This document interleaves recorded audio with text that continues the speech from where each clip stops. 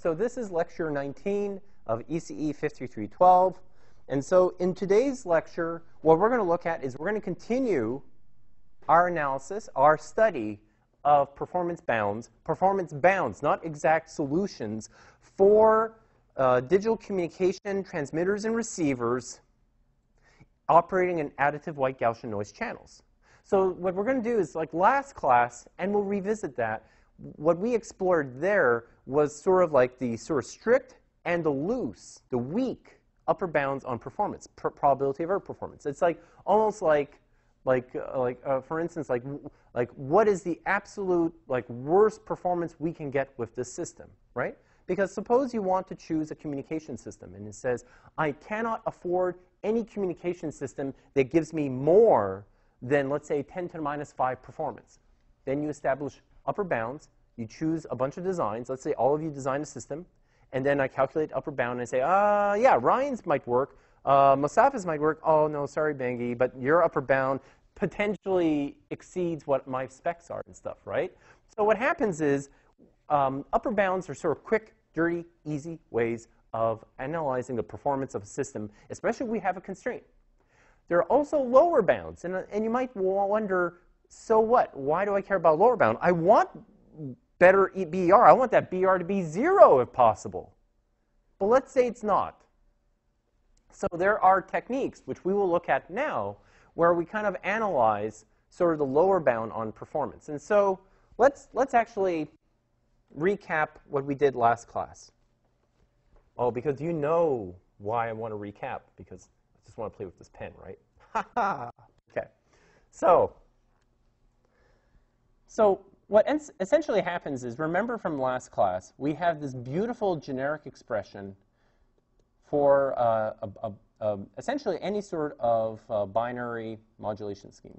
Q, right, Q function, square root d min squared divided by 2n naught. And that is a very powerful expression in itself, right? Because as we saw, if we have a signal constellation, right, and we have that guy, and let's say we had this guy. This was actually from the homework assignment. And so let's say this is a phase modulation. So both these guys are away from the origin. We know that that's going to have a radius of square root of ES and a square root of ES, correct? Right?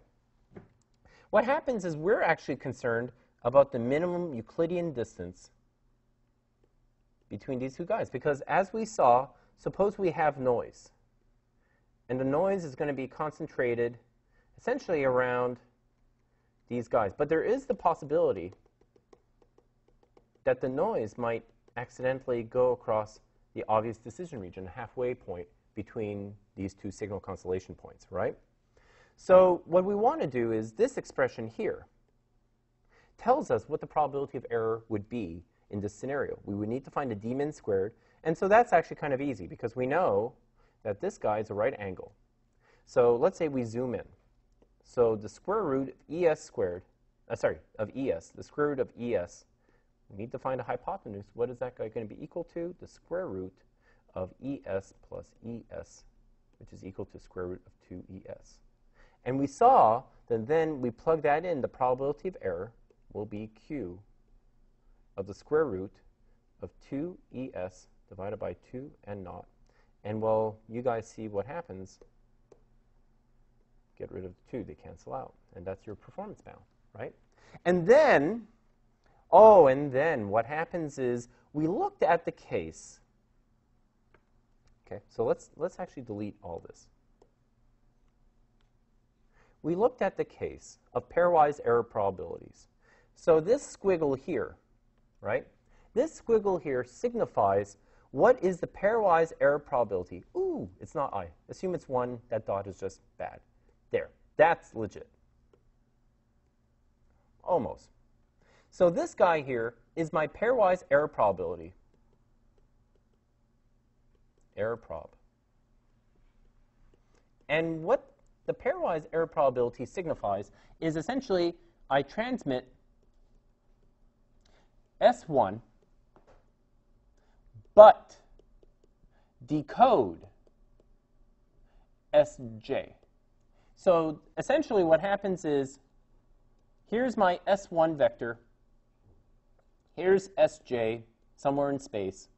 And then what happens is essentially, we saw this last class. We have the line, right, between these two guys. And that's the halfway mark. And the noise vector, let's say, is like that. When we project this down onto this, this line that connects the heads of S1 and Sj, exceeds the halfway mark.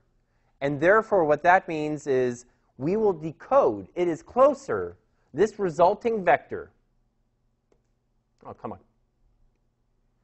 See, this guy here, that's what we receive. R, R will decode as being closer to Sj than to S1, and that's an error. So what we do, remember what we looked at. We looked at essentially the scenario where all we care about is if we get into one error, we count it as an error. We don't, like the funny thing is, in the formulation that we looked at last class, I don't care how many error events occur. I just, it's really just a flag, right? Error, right? And what do I mean by that? What is the probability? Okay, capital P. That this guy here is an error. Or this guy, oh, sorry. So let's do S2. Oh, ah, this is so sloppy. That's why I have an electronic eraser. 1, 2, 1, 3, 1, 4,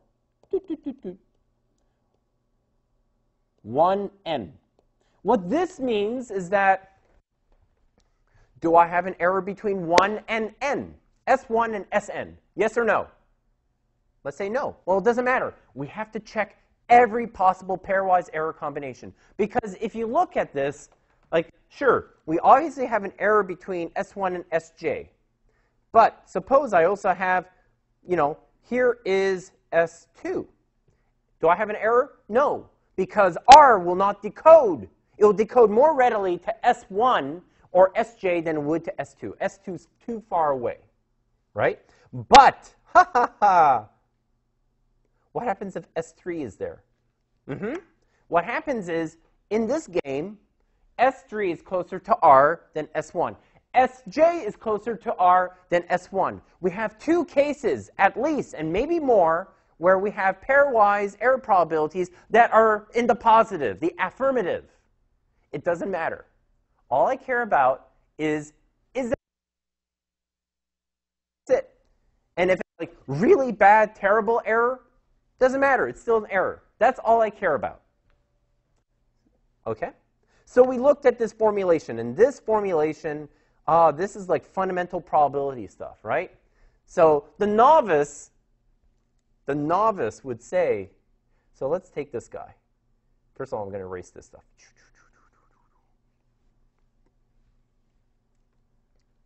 So the novice would say, well, that's going to be equal to the probability of the first pairwise error probability plus the probability of the second pairwise error probability plus the probability of the third error-wise probability, or what error event, sorry, so on, all the way to the probability of this guy, right? But that's not totally correct. And why is that? Let's go to looking at the sample space. So let's erase this guy. So let's say we go to our lima bean sample space omega, right?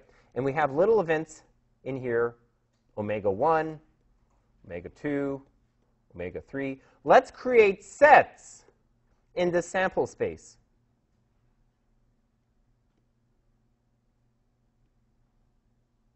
And then, of course, I'm going to choose a different color. And suppose I label this, this guy here is A, B, C, D. Now, we saw in probability, what happens if you have P, A, union B, union C? This should split up pretty nicely, right? P, A plus P, B plus P, C. That's fine. Why? None of the sets overlap, right? So if you take the probability measure and you look at these sets, you get this. Now, but now, let's get rid of that guy. and we do union D. Now, this is not legit.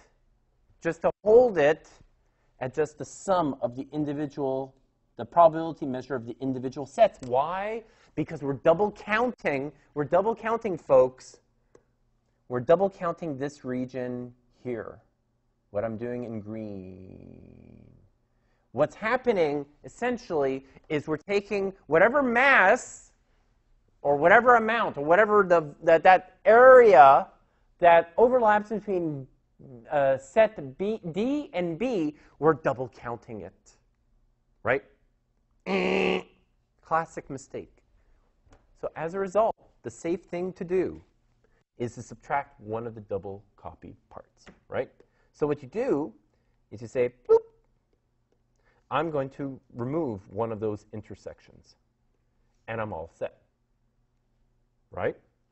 Now, we go back to this guy here, all these error probabilities, right? These, uh, not error probabilities, these error events.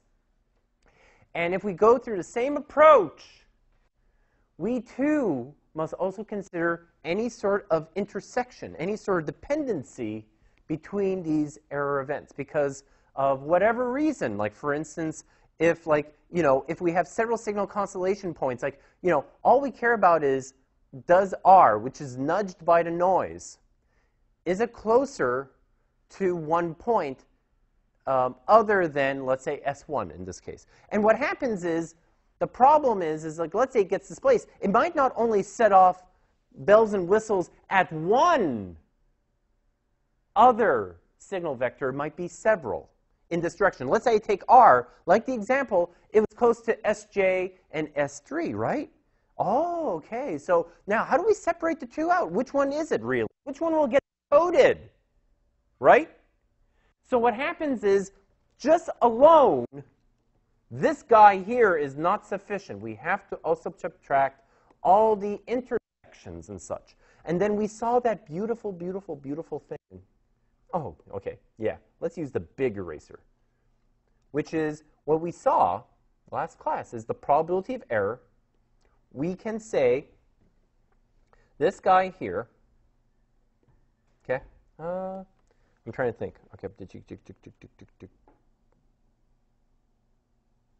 yeah, sorry, made a boo-boo, is going to be less than or equal to the sum oh,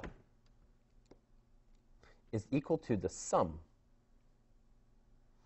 Let's say j goes from 2 to n.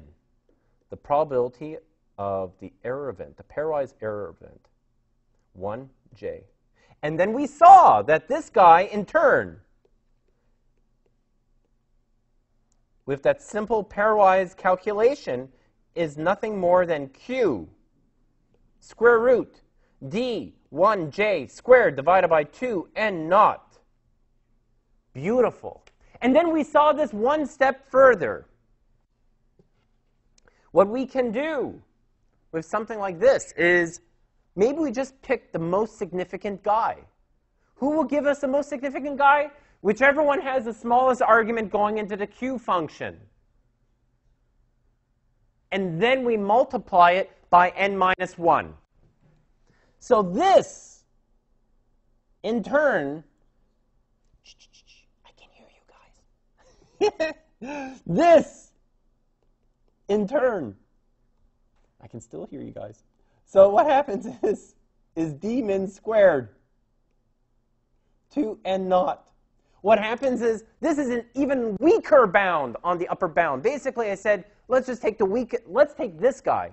He'll yield the biggest, most significant contribution to the pairwise error probabilities and multiply him by n minus 1 times. Loose upper bound, a little bit more strict upper bound on the probability of error of your system. Ah, okay.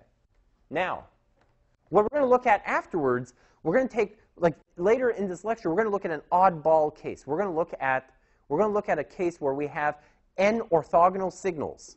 And when we have n orthogonal signals, this actually helps us a lot. We can actually we can come up with the exact probability of error. And as you'll see, this is like almost like like going for dental treatment. yeah, I don't like I like I don't like going to the dentist either. Okay. So, we saw lower bound. Upper bound almost the same thing. Almost the same thing. Actually, let's go back to the slides. So, the upper bound. Right now, let's say we do something like this. So, first of all, we have a probability of error, and at the very least, it will be greater than or equal to the Q function of a single pairing of i and j, neither of which are equal to each other, squared divided by 2 n naught. So this is a pairwise error probability between two signals and their distance, and we're saying the probability of error should be equal to, of the, the probability of error of the entire system should be either equal to or greater than, because we're only looking at one schmo. We're only looking at one probability of error out of maybe a gajillion pairwise error probabilities, right? And we're picking one right? There is a possibility it might be equal, but at the very least, we know that, you know, in essence, there might be other non-negligible pairwise error probabilities, and th so this number should actually be bigger, but we want to know what the lower bound is, right? yep. I'm getting there. So the question is, can we use d min squared? That, that, that, that, would, that would essentially establish the absolute lower bound. And then, but that's going to be a very like that would be a weak bound. We actually want to get uh, like as close as possible. So we'll, we'll build upon that. You're, you're, taking lightning out of my thunder. So it's like okay, no, no, very good, very good. Because what happens is, let's let's like that's that's what you know you kind of read ahead. what happens is getting getting to that that would give you the best lower bound. Why? Because this would be the largest. Like as I said during office hours today, what's a shortcut in calculating probability of error. So let's say your boss says, okay, uh, meeting in 10 minutes, and where's that derivation, Jimmy, of um, the probability of error performance for this communication system? And you're like, oh, totally forgot. You know, and this is like my worst nightmare. I wake, I wake up, sometimes once in a while, don't you have those nightmares that you, you, you, you go to school and you realize you had an exam and you forgot about it and you come late and it's already done? I'm not sure how many people have that, but I think it's usually with people like who are like, like you know, very meticulous and precise and stuff. And it's like, oh my God, my wife has it all the time. Okay? But what happens is suppose, like 10 minutes, you have a meeting with Professor Wyglinski about your course design project, and he's really expecting a probability of error performance calculation. And you say, okay, okay, okay. So what you do, so let's go back to this guy. Right? What you would do is something like this. Like, you know, you would have, first of all, your modulation scheme, right? Let, us do that instead. Maybe have other modulation schemes as well. So, and then another one. So that's one PSK, that's another PSK, and that's another PSK. Right? That's very sloppy. And what happens is, you know, um, in essence, whenever we calculate the probability of error, suppose I, I, I, I assume some sort of bound or some sort of approximation where I have, let's say, one guy p12 squared over 2 n naught. And then let's say I have p13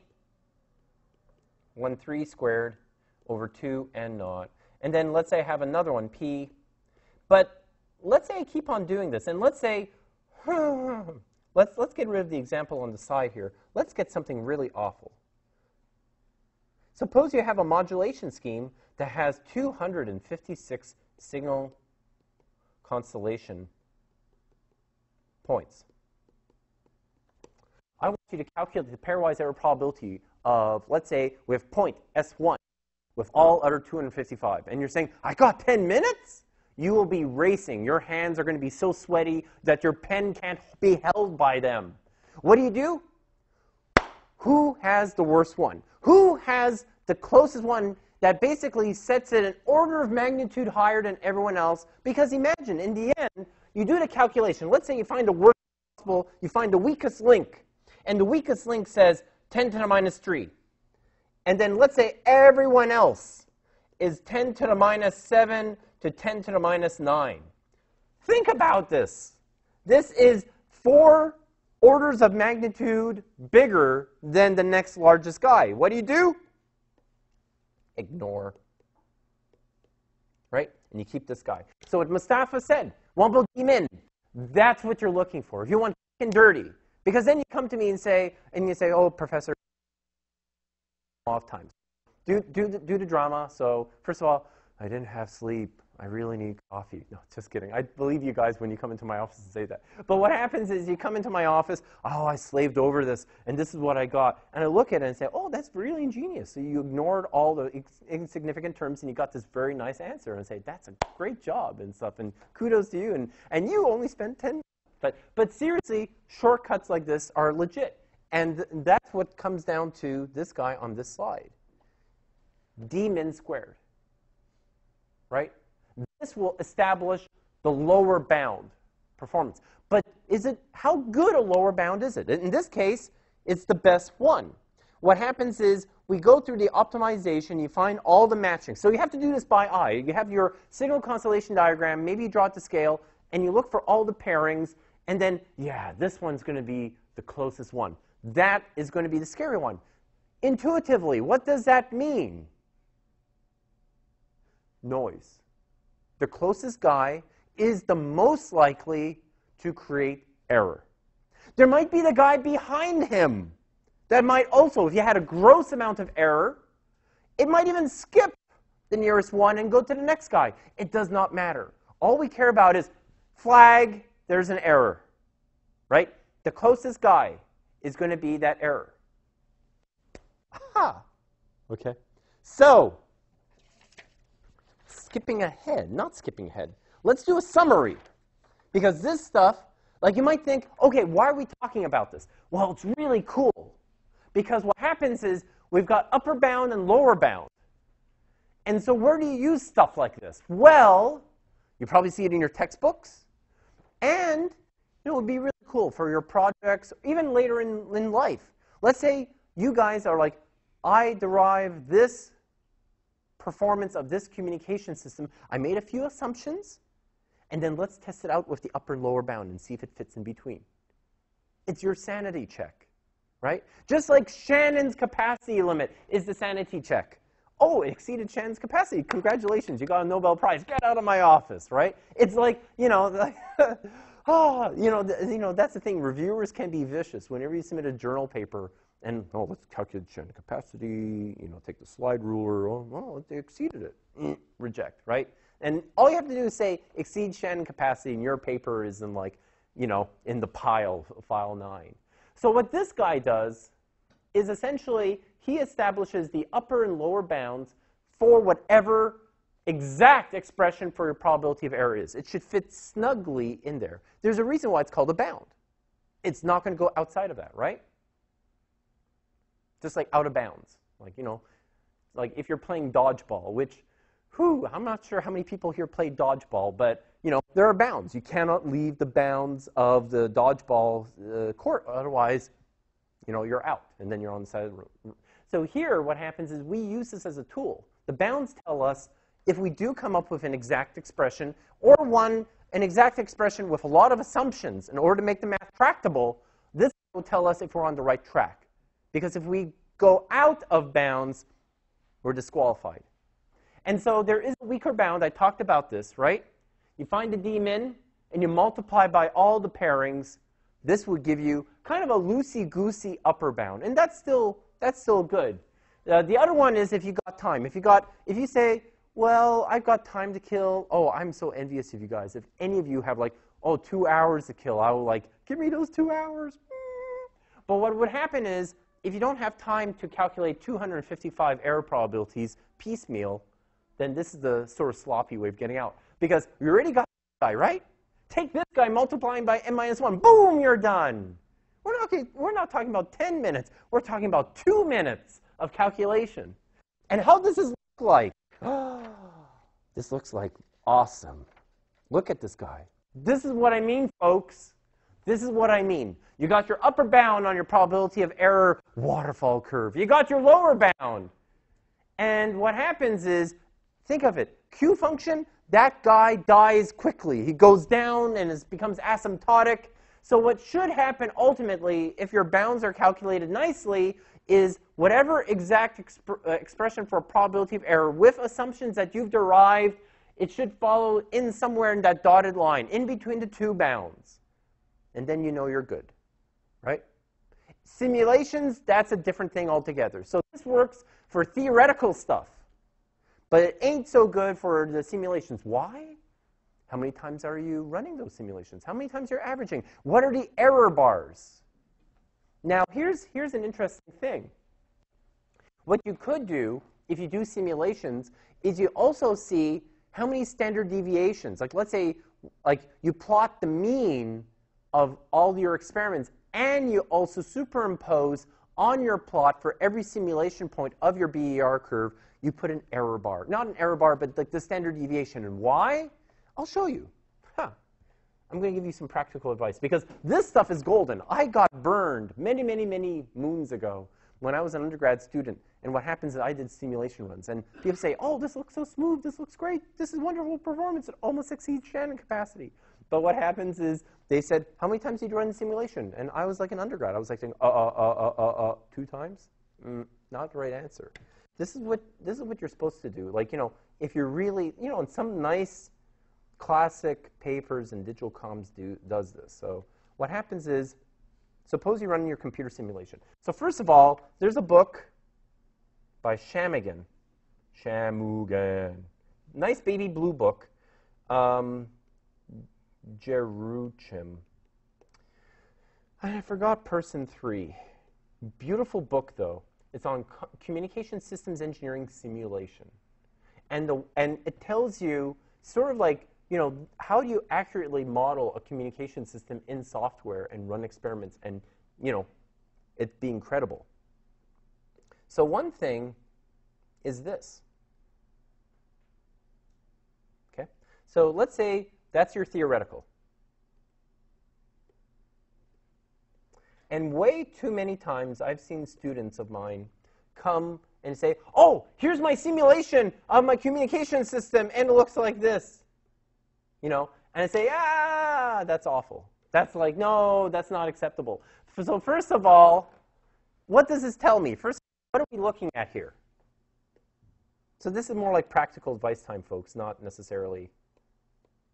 So what this tells me is I have worse error performance for higher SNR.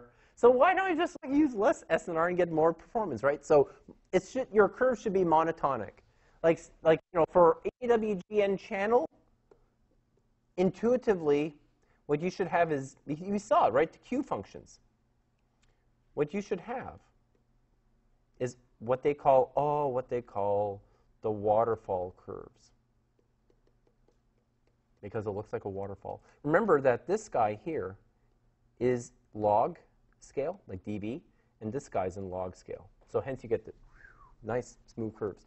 And what happens is if you have interference, what this guy will become, this will be called the SINR.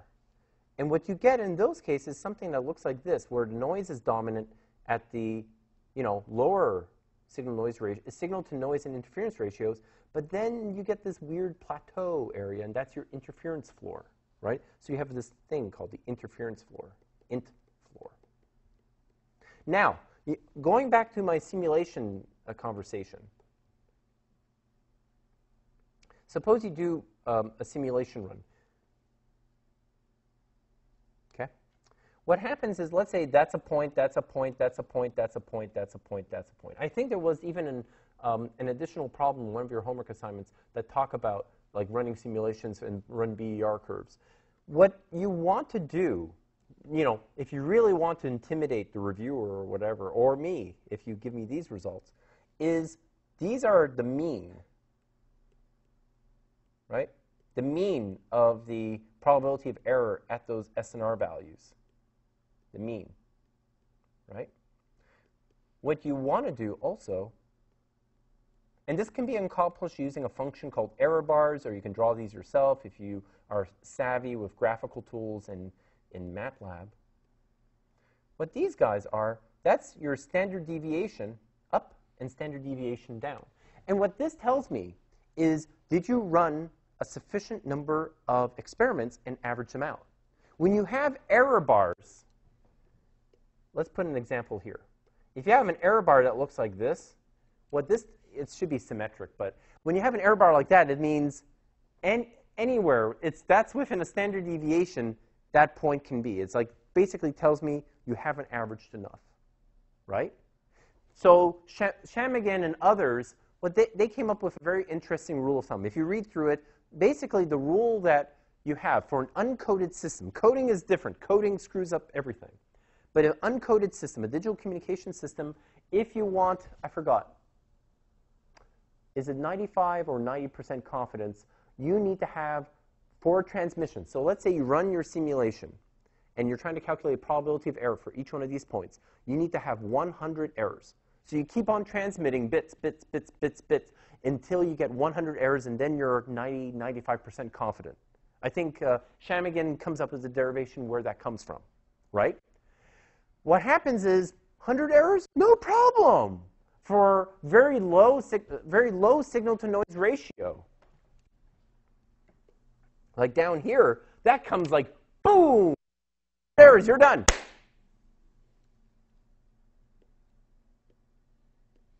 Well, but 10 to the minus 9. If you don't have a fast computer, oh, memory filled, please start again, right? But what happens is really like um, that's for uncoded systems, and I have to figure out what the confidence is. But what these little intervals tell me, why is this so critical? Because let's say you're duking it out. One, let's say, let's say we take um, Rhee's algorithm, and let's say we take Travis's algorithm, who has a better error performance. So we put them side by side, and let's say we have something like this. and then we put their standard deviations. To me, this looks pretty bad. Not in the sense that one is better than the other, but more like they're both within a standard deviation of each other. So it's still potentially fluky that sometimes you're going to have the other guy perform better than others. Like, you know, you might look at the mean, but they're, they're statistically kind of in like a dead heat. They're very close together. They have overlapping error bars like, you know, sure, if you do things like turbo codes and you talk about 0.1 dB off, wow, that's fantastic. Like, you know, but, but in error performance land, what happens is like you really need to run your simulations. If you can get really tight error bars and say, this is exactly, like, you know, let's say Rhee and Travis resimulate or continue to simulate. What you get, oh, darn, I really should do a better job there of cleaning myself up there. What happens is, let's say now we have this. And we do the same thing with the error bars, but now you really run the simulations. You get like a thousand errors, right? You stop after a thousand errors. And your standard deviations, your confidence intervals, these guys are so tight. There's no overlap. Then proof positive, green is doing better than blue. Right? So that's so that's where like you know if you if you um, you go into the, sort of like this idea of running simulations, you have to run a lot of simulations because the problem is in the community you run it once and you get spectacular results. Can you replicate it? Can you do it 100 times, 1,000 times? What's the average behavior we need to characterize? Right? Okay. So that, uh, that's my rant. But it really comes out partly because of this curve here with the, you have, let's say, this is the theoretical side of things. And if you run your ex simulation experiments a lot where your confidence intervals and the means fit snugly between lower and upper bound, that's pretty darn good. And, that, and you know, if you don't have access to communications hardware, what you normally do is you have your theoretical derivation and then you support it with your computer simulation, right? Oh, good. All right. Okay, so now I'm off of that horse. I'm going to jump onto this horse, which is close expression, closed form expression for probability of error. And you might say, what, am I, what do I mean by closed? And what I mean by closed is that my probability of error is represented by at most one integral expression. Can we do that? Well, let's see. Okay? So what so one numerical integration. So what we're going to do we're not going to take PSK or uh, yeah, we're not going to take a PSK or a QAM or a PAM modulation because that already gets very tedious. What we're going to do is we're going to find the closed form probability of error expression for an M-ary orthogonal signal, which has more than two signal constellation points. So what do I mean by that? So orthogonality, remember what that means. We take two signals, any two signals, we match them up. If they're not the same one, we take the correlation of them. They should be equal to zippo, zero. Otherwise, they should correlate strongly if they're the same, right? Yay! Okay. So, what happens is the following. So let's say all the orthogonal signals are of equal energy. So what's the easiest one? When we have cosines operating at different frequencies. Easy, right? Because in the frequency domain, how do they look like? They're separated, right? They're totally not overlapping. At least in the space-time frequency, you know, the electrospace, one of those dimensions, they look clearly separated, and I can work on them. They're orthogonal, right? So that's one great example. So let's say we have a family of cosines at different frequencies. So this is kind of like frequency shift keying, right?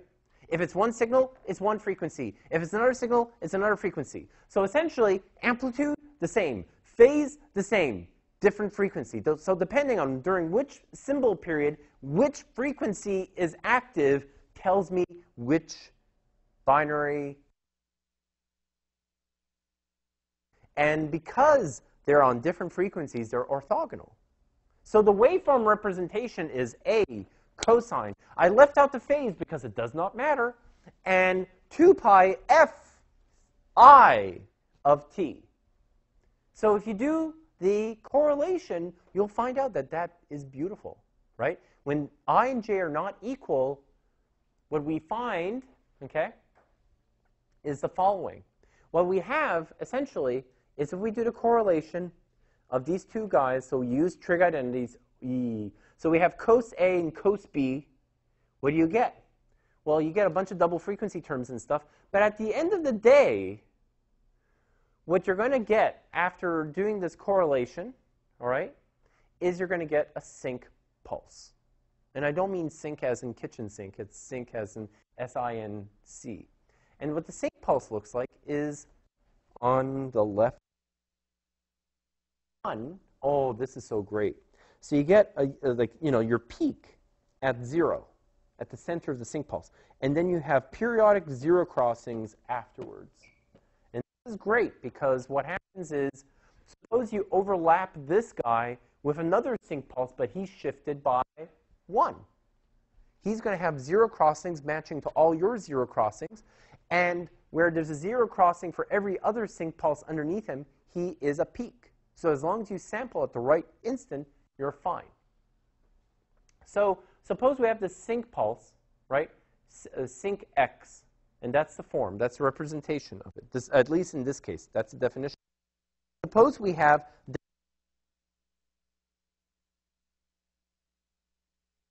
a magnitude squared, because all I care about is the relative frequency difference. I don't care about the absolute.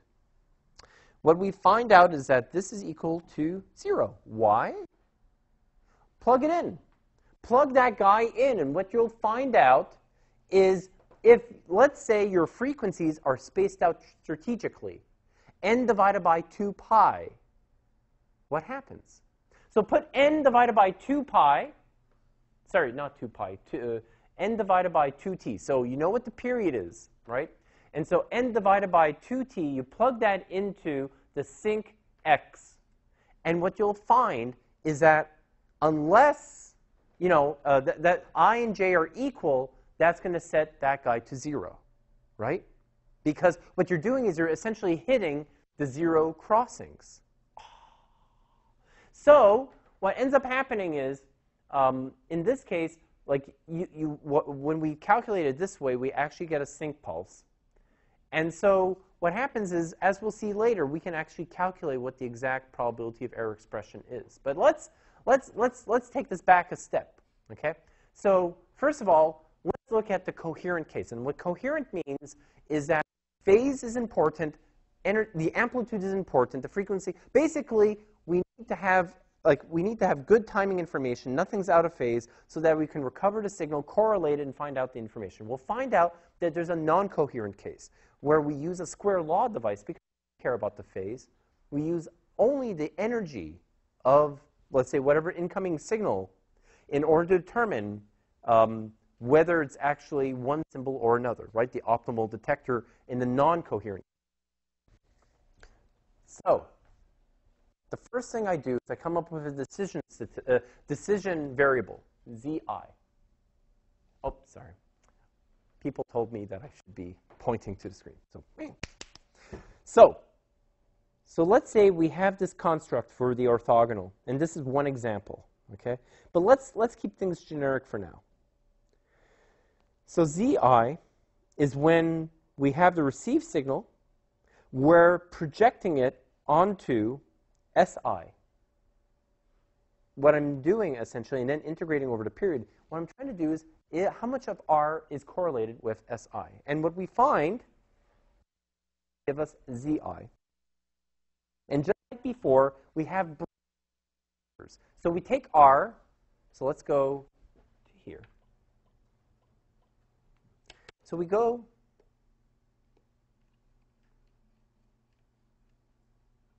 So what we do is we essentially say, okay, here is r of t. Okay? Then we multiply it by s1 of t, s2 of t, s3 of t, and so on, right? And then what we do is we integrate Okay? And that produces Z1, Z2, Z3. And you know where I'm going with all of this, right? Now, we take that guy. That, in fact, we transmit Sj. Okay?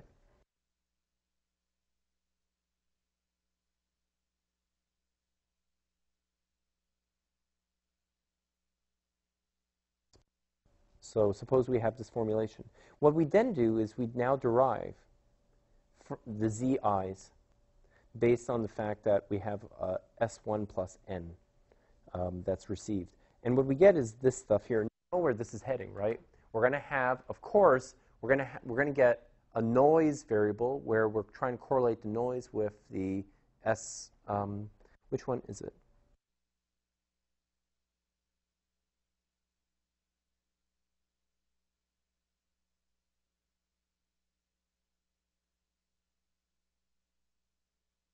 On the other hand, we also got the noise, which is, in this part of the course, AWGN, and it's multiplied against an SI, which is a deterministic waveform, and then summed. It is Gaussian.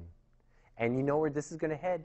We have to find out what is the mean and what is the variance of that NI, right? So what happens is that, this, that statistic, that variable, that zi, z1, z2, z3, z4, so z1, we anticipate E because S1, correlative S1 will give you the energy plus N1. Everyone else, if they're orthogonal, should only be the noise. Okay, capiche. That's good. So what happens event is when zi, one of these zi's is bigger than z1. And the correct event is when z1 is bigger or equal to any other zi, right? This guy here. This guy here. So now what we need to do is compute what the heck are the statistics of ni. Ah, okay. So what happens is we go through the same math. we know based on previous classes that whenever we have a deterministic waveform, a Gaussian signal, then we integrate over a period, we get essentially a Gaussian random variable, Ni. It is going to have, just as before, what happens is, let's say we have Ni and Nj. When we take those two guys and correlate them, or not correlate them, we take, we take well, actually, we are correlating them. We take Ni, Nj, take the expected value of them, should be equal to 0. Why? Ni is equal to the integral of nt si t dt. And the other guy is j. They're, they're orthogonal, right? So what happens is just because of how the two waveforms are orthogonal and also the, you know, AWGN, additive white Gaussian noise, so it's uncorrelated, means un independent samples and stuff, what ends up happening is we get zero, if, and that's an exercise for a student.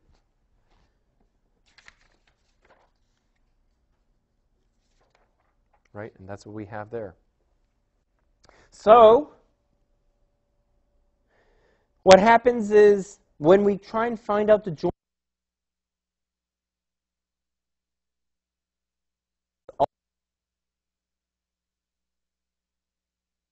except for one. The Z1 will have the energy plus a Gaussian random variable. Every other one will be Gaussian only, no bias by Z. And what will happen is your joint PDF, because Ni and Nj are uncorrelated, is we're going to have essentially the product of the one-dimensional PDFs of these guys. So if we say, let's say, what is the probability of correct reception given that we have Z1? What happens is, and then what we do is we go through the math. So what happens is we want to find out what is the probability of correct reception. What we do is we average across for all possible Z1 combinations. So we find out what the PDF of Z1 is and multiply it by the conditional PDF and integrate from minus infinity to infinity. That means we're averaging across all possible Z1 values. So, but, so why are we doing this? We're building up to this guy here. This is our error situation, right? So what happens is, no, no, no, no, no, no, no. That's not our error problem uh, situation. Ah. No. What happens is, so what's this guy here? The probability that Z1 is less than Zi. We're, we're, we want Zi, uh, Z1 to be big, right? So this guy is still correct. Whew. That's what happens when you teach at night. Your brain is telling you other things. So what happens is you go through all this wonderful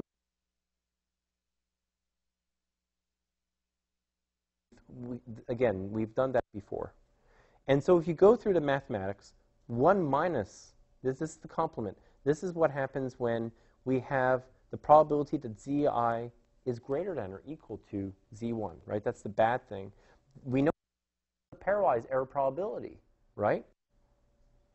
And we get, say, how the heck did we get this guy? Who's Gaussian?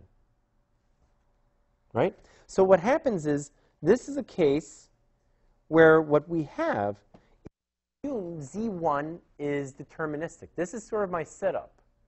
What happens is, theoretically, both of them are Gaussian random variables, right? Z1, Zi. So what we need to do is we need to condition. We say, oh, yeah, yeah, yeah, yeah, Z1, that's totally known. We know what Z1 is exactly. But do we? So what ends up happening is we essentially um, look at this guy and say, let's, let's hold Z1 for now. We're going to average him out after, right? And so what we do is we say, well, I know that this is the probability of error, and 1 minus that will give me the probability of correct reception.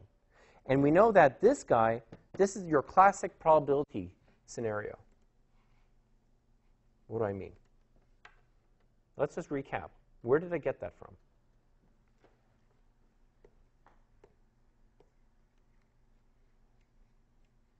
Actually, what is that? Fill color. How do you do that? Okay, I'm just experimenting. Sorry, folks. I'm just like, can I put fill color too? This would be like the best toy ever. Okay, so remember, whenever we have like a Gaussian random variable, so let's say that's your Gaussian, RV, and this guy, this is your deterministic dummy variable. I know, makes them feel bad, right? So what is this equal to? This is going to be equal to, so, so it's essentially, uh, what is the probability that z will produce a value, a random variable, that is greater than or equal to some deterministic constant. So essentially, let's draw your Gaussian bell curve here. So suppose little z is there. What that means is the area under the curve, that's the probability we're trying to calculate. So we do from z to plus infinity, the PDF of z, little z, dz, and this guy here is a Gaussian. So we know that that's going to be 1 over the square root of 2 pi sigma e to the minus um, we have to assume, like, you know, first of all, is it z minus mu z, that's the mean of z, squared divided by 2 sigma squared, right? So this guy is my Gaussian PDF, right? And this is the expression finding the pro this probability. We go back to the slides.